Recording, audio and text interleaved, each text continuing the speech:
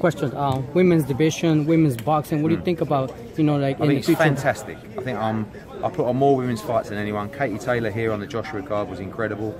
Hardy against Serrano, September 13th is going to be a massive, massive fight. I think women's boxing is more popular than it's ever been before.